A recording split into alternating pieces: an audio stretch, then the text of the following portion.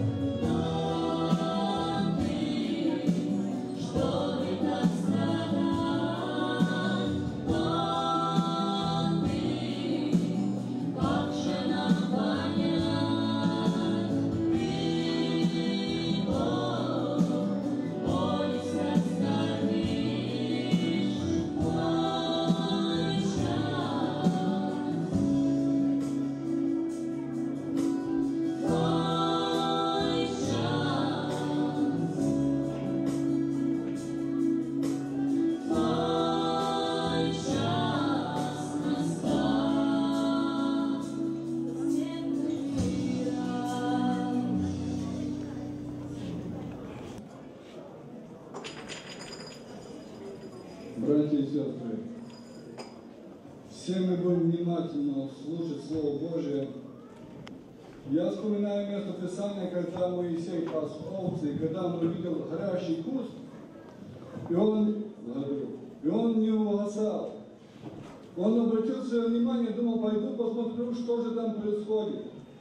И когда он стал приближаться туда, он услышал голос, Моисей, Моисей, сними оду свою, ибо земля, на которой ты стоишь, есть земля святая. Дорогой брат и сестра, чтобы вы знали, что мы сейчас на святом месте. Поэтому не будем мы отвлекаться, не будем где-то в другом месте своими мыслями, мы будем присутствовать на этом месте, где мы все имеем желание быть участниками трапезы Господней. Я думаю, что каждый из нас пришел на это место уже готов в свое сердце. Возможно, несколько дней, может быть, неделю, а может кто-то думает каждый день о том, что Господь сделал для него и для меня. Дорогой брат и сестра, я буду читать место Писания. И вместе с вами будем рассуждать и думать, что же произошло, что мы сегодня делали, что мы поступали, куда и для чего свою жизнь посвящала наша молодежь. Слава нашему Господу. Я думаю, что они в своих мыслях уже и на свое сердце положили и определили свою судьбу. Они поняли, что они должны сделать соглашение свое с Иисусом Христом, который стал искупителем за них и за нас. Слава нашему Господу. Первое место Писания буду читать. Это от Иоанна, 10 глава, 11 стих, 1 стих только читаю. Я есть пастырь добрый, пастырь добрый полагает жизнь свою за овец. Апостол Петр такие слова сказал. Зная, что нетленным серебром или золотом искуплены вы от суетной жизни, преданы вам от отцов, но драгоценную кровью Христа, как непорочного и чистого анца. Дорогие братья и сестры, если мы обратим свое внимание, если мы начинаем вникать, что же происходило, то мы видим, что этот пастор отдал свою жизнь. Он отдал две тысячи лет тому назад, но сегодня он отдает за каждого из нас свою жизнь. Оно продолжается. Апостол Павел, Петр, когда посмотрел на это все, он подчеркнул и увидел такие картину, что происходило, и говорит такие слова. Знаешь, что нетленное серебро или золото, которое по наследству вам перешло от отцов к вам. Это то, что наши родители могут дать нам. Не все. Потому что мы немного вещей привезли с Украины, с Беларуси или с России. Не с многими вещами мы приехали сюда, в эту страну. И говорит, не с этим серебром или золотом, но драгоценной кровью Христа, как непорочного и чистого Анца. Кто же он был? Агнец. Непорочный, чистый. Я буду вспоминать и читать другое место Писания. И мы будем смотреть, что же происходило. Какой ценой Иисус Христос заплатил за каждого из нас.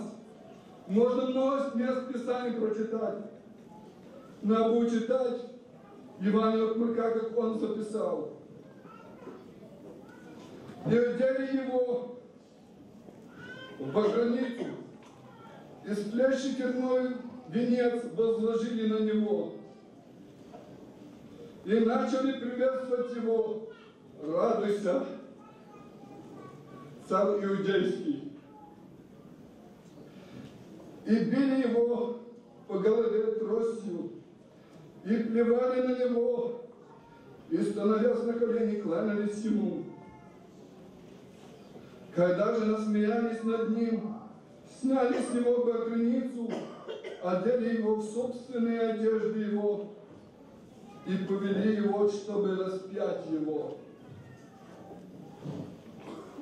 Был час третий, и распяли его. В девятом часу возопил Иисус громким голосом, Элой, Элой, лама савахвани, что значит, Боже мой, Боже мой, для чего ты меня оставил? Мы видим, какой ценой мы дались, и чем обошлось наше спасение. И сегодня в этот день мы будем вспоминать смерть Господа нашего Иисуса Христа. Мы увидели, какую цену Он заплатил, какие Он страдания и муки Он претерпел для того, чтобы имели мы сегодня надежду на жизнь вечную, слава Ему. В нашей церкви, когда мы еще были на Украине, наши братья ездили в Израиль, и они привезли оттуда терновый венец. Я видел его, он необычный. Если я говорю о терновнике, я помню, на Украине только вот такой был, может, сантиметр. Но когда привезли его с Израиля, он был больше двух инчей. И я видел, и каждый раз, когда мы приходили, чтобы иметь вспомнить смерти Господа нашего Иисуса Христа и быть участниками, наш служитель поднимал этот венец и говорил, смотрите на него, чтобы вы имели представление, возложили на него не царский венец, но сплетший стерновника возложили на его голову. Вы знаете, другой пророк Исаия сказал такие слова. Я прочитаю тоже эти слова. Но Он взял на себя наши немощи и принес наши болезни. И мы думали, что Он поражаем и наказуем и не утяжен Богом. Но Он изумлен был за грехи наши и мучен за беззаконие наши. Наказание мира нашего было на нем, и ранами его мы исцелились. Все мы блуждали, как овцы, совратились каждый на свою дорогу. И Господь возложил на него грехи всех нас. Истязуем был, но страдал добровольно и не открывал уст своих, как овца веден был он на заклание, и как ангел престригущими его безгласен, так он и утверждал уст своих, дорогие братья и сестры.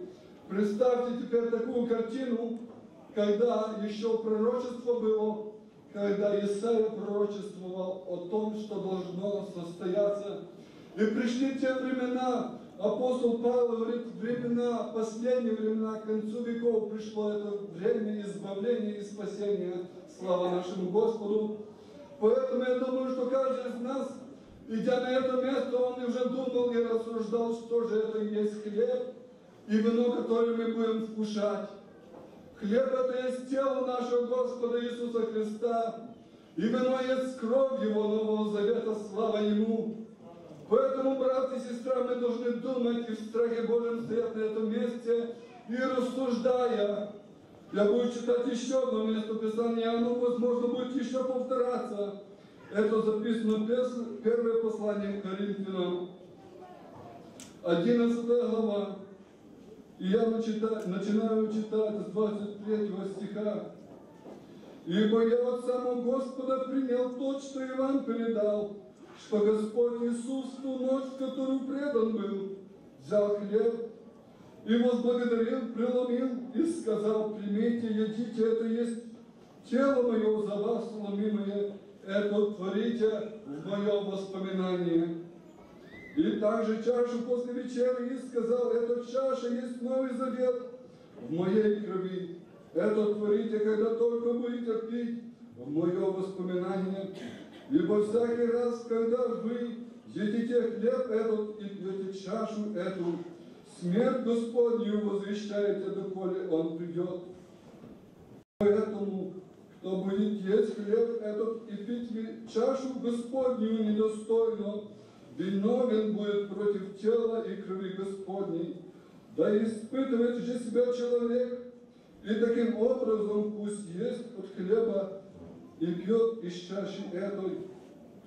Дорогой брат и сестра, не просто так.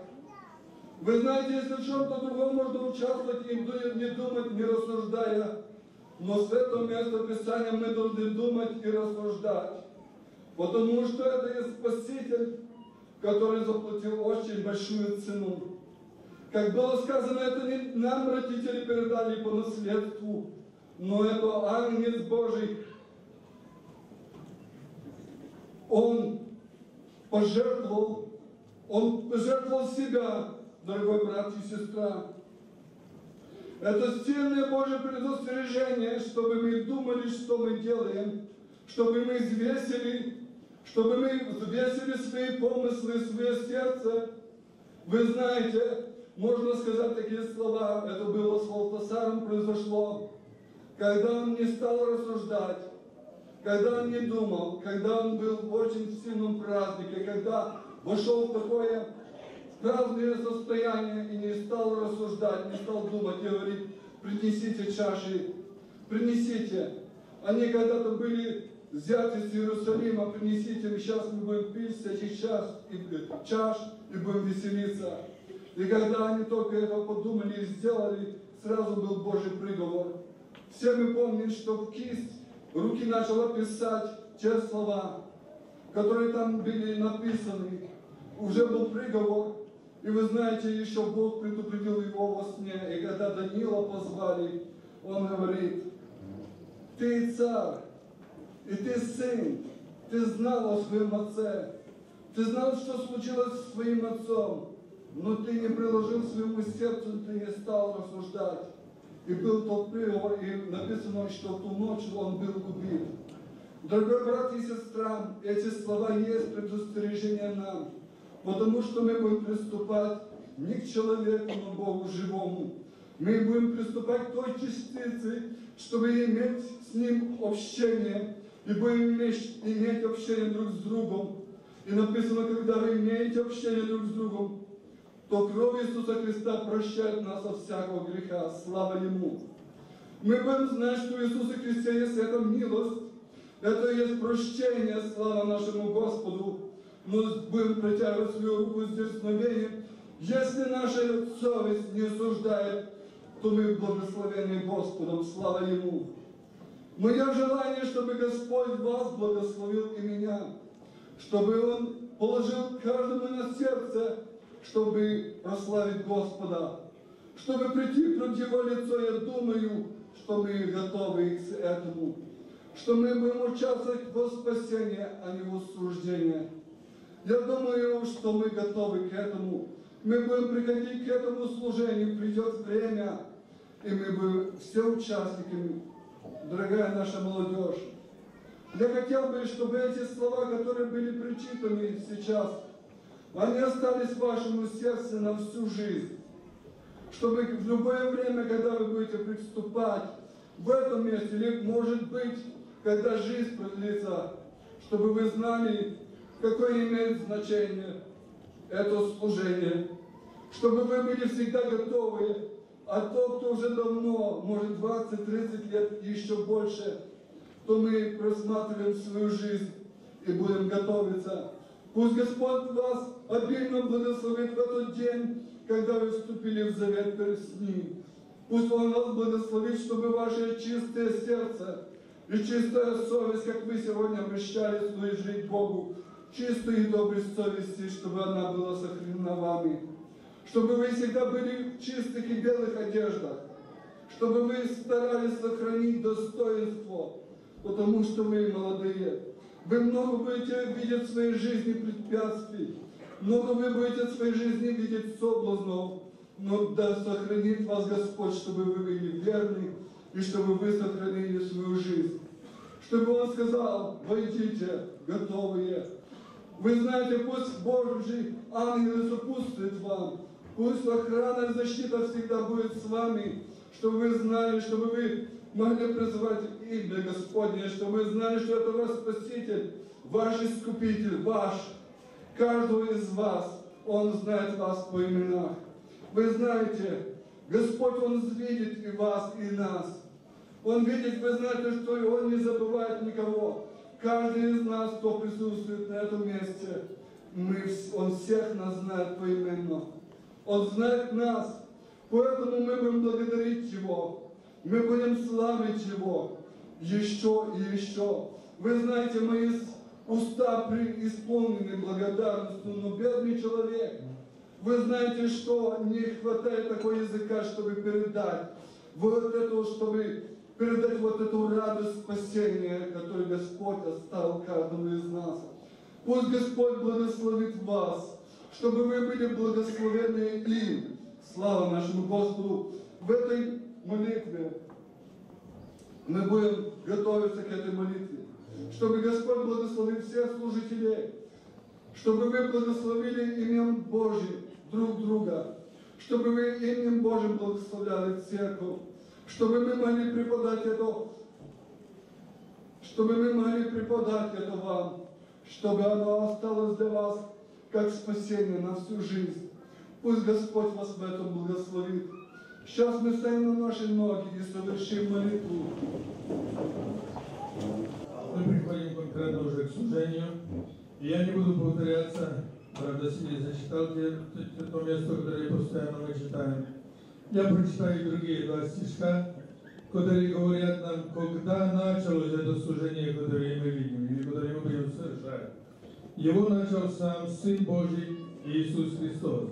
Написано в Евангелии Луки, 22 глава, он говорит, как очень желали есть с вами эту Пасху. И написано, он взял хлеб и возблагодарил, преломил. Мы совершаем это служение, крещаемые впервые сегодня совершают это служение. Они впервые участвуют в этом служении. И вот все члены церкви, которые прошли через святое водное крещение, если вы в гостях нашей церкви, и вы в мире со своими церквами в правильном отношении, пусть Бог благословит вас, вы можете участвовать вместе с нами в этом служении. И поэтому мы готовимся к молитве. Будем просить Божье благословение, чтобы Бог благословил этот хлеб, преснок, который я держу в руках, чтобы действительно это было тело Его, ломимое на Голгофе. И это напоминало нам, какой ценой мы достались для Него. Склоняем голову, молимся.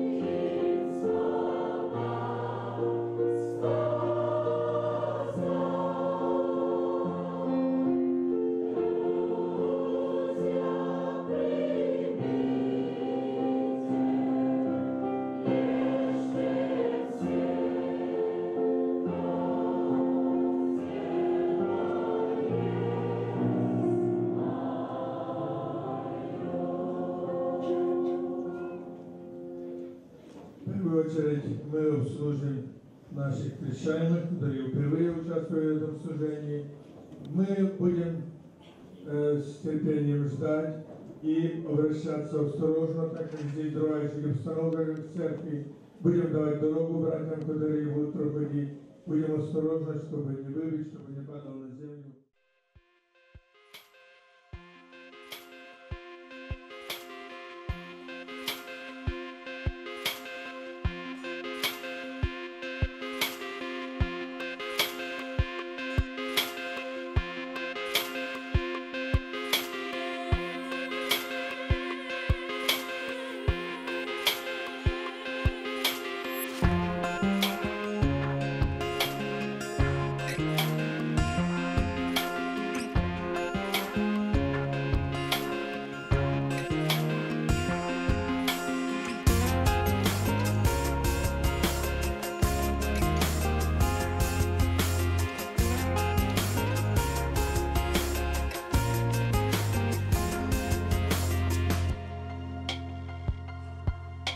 Дороги, два пути.